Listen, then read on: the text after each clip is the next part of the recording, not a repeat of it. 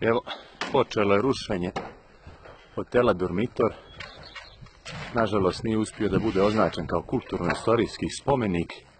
Ovo je jedini hotel u Crnoj Gori iz vremena prije drugog svjetskog rata. Spomenik je ne dano zaboravljene arhitekture i partizanska bolnica tokom drugog svjetskog rata. Prodati u bescijenje crnogorskom to jest grčkom investitoru pod znacima navoda Petrosu Statisu za nekih 600.000 eura ili 17 eura po metru kvadratnom najljepše moguće lokacije sa pogledom na Durmitu.